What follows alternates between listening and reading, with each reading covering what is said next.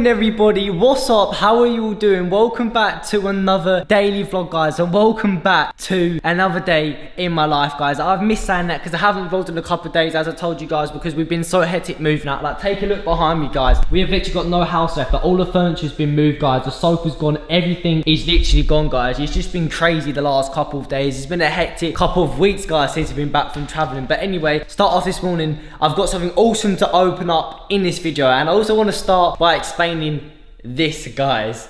Explaining this. Some of you have been asking me, Nick, is it a real tattoo? And whilst I was at Cyprus, as you guys know, last month I went to Cyprus traveling. I was this close of getting a tattoo, guys. I went to the tattoo parlor, I was this close of getting it, and then my mum said, you're not doing it don't you dare do it. My mom said if I'd done it, she would have killed me, guys. So I couldn't get a tattoo, but I'm gonna get one very soon, guys. In the next couple of weeks, I'm flying over to Amsterdam, guys, and I'm gonna be staying there for a couple of weeks, vlogging and doing a couple of business stuff. So I've got some freelance work to do over in Amsterdam, guys, which I'll explain to you about very soon. It's quite a big like meeting for me. Basically, I've got to meet up with a couple of people in Amsterdam, like a couple of other business people, just do a bit of work for them, guys. As you guys know, I do freelancing work now. Even though I do YouTube full time, in my spare time at home, I literally just sit on my bed and do freelance work and people pay me to do edits for them. But as I was just explaining, this is not a real tattoo, guys. This is just a temporary tattoo before I get my real one. But I got a tattoo, guys, try pranking my mum. But it completely failed. I tried to prank my mum, guys, by coming home and going, Mum, I got a tattoo. And the reason why it kind of failed is because she knew that I wouldn't have been able to get it in the space at the time I'd done it. Because I wanted to get it three days before we left Cyprus. And when we came back to London, guys, in the UK, two days later, I said to Mum, I've got a tattoo. And she's like, I know it's fake. At first, she was kind of apprehensive. Like, she was like, yeah, actually could be real. And she came over and touched it. She's like, I know that's fake, guys. This was the funniest thing, guys. I pranked all of the people who have me on Snapchat. I pranked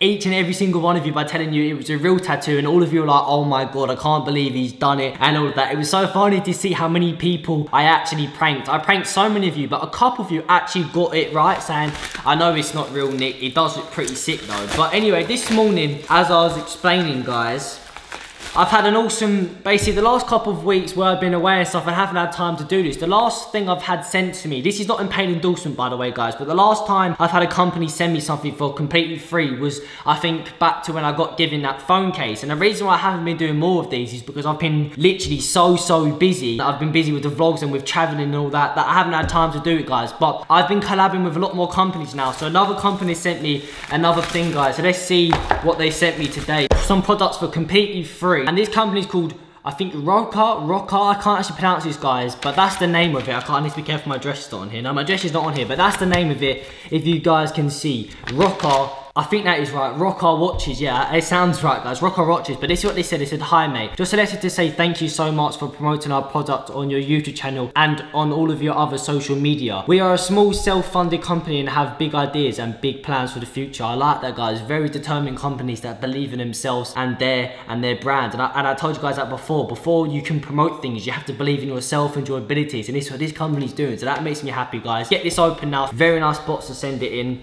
Let's see what they sent me, guys. Oh, that does look pretty nice. Look at that. That does look quite nice, guys. You've got to admit, that does look actually pretty sick. Oh, let's try this on. That does look pretty nice. It is a really nice watch, guys. Take a look at that. That is pretty nice, to be honest. And then that's the bottom of it as well, guys. The bottom is made of pure leather. Bottom of, well, not the actual watch, obviously, but I'm saying that the strap is pure leather, guys. So, guys, if you want to get hold of these, I'm going to be wearing this a lot more. Obviously, I've got my tag watch, but this, for the time being, I've, I actually wanted a watch where I could just wear it around for a bit. Let's actually put this on. I wanted to watch where I could basically wear it in a vlog because I don't really wear my other watch a lot because it, it, it's quite expensive guys and I'm so done with things I probably would break it. So I don't really wear my other watch quite a lot to be honest. I only wear occasionally. Yeah I like that guys. That is pretty nice to be honest. I'm happy with that. That looks pretty nice guys. Look. If you want one of these watches you can get a promo code from me. All you have to do is go down below in the description guys. That that will take you straight to their Instagram and straight to the page. Go to the page guys and buy this watch. And if you want to get a promotion code my promotion code guys by using my discount code all it is is capital R, capital K,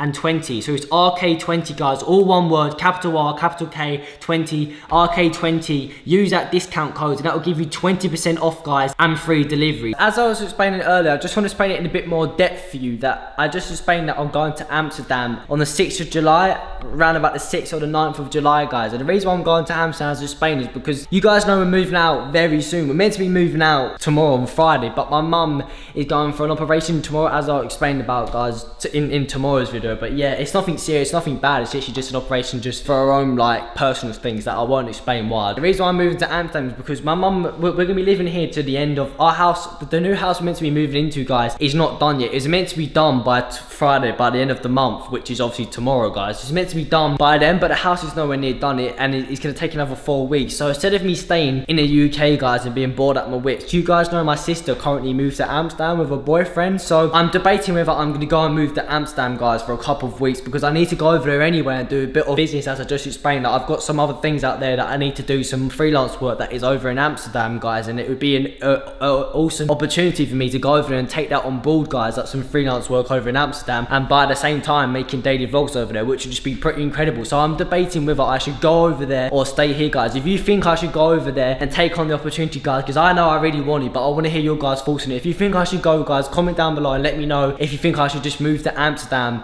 for four weeks, three or four weeks, guys. If you think I should do it, I know it's crazy, but if you think I should, guys, let me know. So if you can guess right, this has been my editing space for the last week, guys. Because my desk that used to be over there has been packed up because we're moving out. All the furniture's gone, basically. I've had to stand up like this for almost two and a half hours. That's how long my edits are. Like this, getting it crippled back. And I feel like the content that I'm producing is not good because the desk, and it might sound so stupid, guys, but I read a very true quote on the internet that is very true, guys. And the quote said, if your editing space is messy and if your desk is messy, then your content you create is also messy and not to the best of your abilities. And that is very true, guys. I felt like that because I'm rushing to get the edit done because my back's hurt and I feel like the edit's not as good as it could be. So I just cannot wait to start on this ultimate editing series, guys, where I'm building the ultimate editing space in my new house.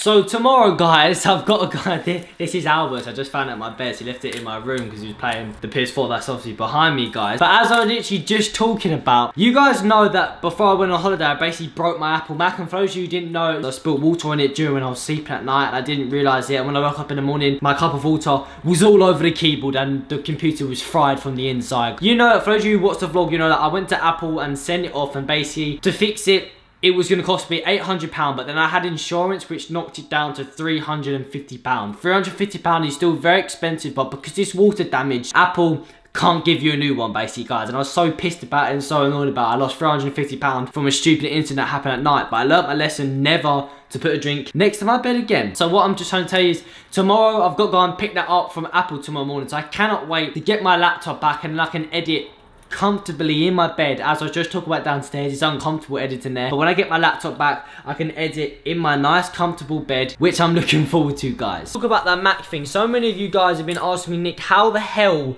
do you edit 4K footage onto a tiny MacBook Pro 12 inch onto a tiny MacBook 12 inch guys and the reason how I do that is because basically what I do is, is I proxy, I do this thing called proxy, guys. What it does is it basically tricks Premiere to thinking that the 4K footage is 720p. So it tricks it into thinking that so it doesn't lag. So I do the full edit in 720p, but the actual footage when you go to render, when you go to export it, is in 4K. But I first started doing it, I did, never done that when I first started so I was getting terrible lag and the videos wasn't going up on time and it was taking almost 20 hours to upload a video which was crazy. But learning about this from YouTube videos because I've just done a bit of education and, I've done a bit of research learn about it and I found out about the proxy edit thing which obviously shrinks it down and it kind of tricks Premiere into thinking that it's not 4K so that's how I managed to edit 4K videos on a MacBook. Messy rooms I need to actually tidy this room up a bit guys. It's an absolute state. I need to do that now Right there guys is literally what we've been doing all week. So guys I know today's video hasn't been that productive like I haven't really done much in it but literally today I haven't really done much. I've just been sorting out my bedroom and sorting out some crap right behind me as I showed you guys earlier with all the boxes and stuff piling up. Got an early start tomorrow guys as well. Literally tomorrow tomorrow morning we've got to go and bring all the stuff from the storage and we've got to collect some stuff from the storage and move it into where we're going and all that stuff. Obviously I can't show the new house as of yet guys because I want it to be a massive surprise when we move into the brand new house which should be about at least a month's time, or hopefully less than a month's, fingers crossed guys. I believe in a lot of things, but I also believe that dreams shouldn't be called dreams, and that dreams should be called a possibility. Dreams should not be called dreams, and they should be called a possibility, guys. No dream for me is impossible because if you can visualize it and if, if you have the time and, and enough dedication and enough energy and drive inside you to go and pursue that dream, then it no longer becomes a dream. As soon as you set upon that path The day you open your eyes and realize what I want to do with my life, and you come out of what society is telling you to do, of what the system's telling you to do, as soon as you take that step out you can almost say step out the universe, guys. As soon as you take that step out of the universe, you'll realize why am I following the system? Why am I doing the same thing on recycle over and over again, guys? I'm not happy. No, I'm not. I, and I'm not enjoying what I'm doing. No. Then change it. How you can change that, guys, is as I said, start upon that path. And once you do that, from the day one you start, your dream no longer becomes a dream. The universe, the law of attraction will start to make that dream not even become a dream anymore. It would make it become a reality, or make it become possibility, or make it become real. And that's what's happened to me, guys. My dream started upon just this thing. You can say just this thing in the air. And over the year I've been doing it, it's gradually coming closer and closer and closer to me. I'm still not there yet. I'm still learning developing each and every single day. But I will get there, guys. And I will smash this dream out of the flipping window. And I know I can do it with you amazing people and with my heart of a lion. And I can get there, guys. That's what I want you guys to do. I want you to take a second throughout the next couple of days or throughout the next week or forever when you get just that split second. I want want you to visualize what you want to do in your life. For those of you who already know, fantastic. Keep on pursuing it, keep on grinding, and keep on going to chasing it. But for those of you who are still unsure and still going, I don't know what I want to do, just take that hour out of your day, go for a walk or get out and just think, what do I want to do? What am I passionate about? What do I love and enjoy doing? And what do I want to achieve in with my life? Visualize it and then the next day you know what you want to do. Wake up the next morning, set upon your path. And as soon as you tread up, as soon as you open your eyes and do that, as I told you, the law of attraction will make your dream less of a dream and more of a reality. I'm going to finish the video here now guys because I'm tired. So if you have enjoyed this video guys, you know what to do. Smash it with a thumbs up for me like you do every single day anyway guys. But smash the video with a thumbs up, blow it up, destroy it. I don't care what you do to it. Just don't forget to be yourself guys because you're all beautiful. You're all amazing. I love each and every single one of you just the way you are. You're one of a kind guys. Be you. Just keep smiling. Just keep being positive and keep being yourself because everybody else is already taken.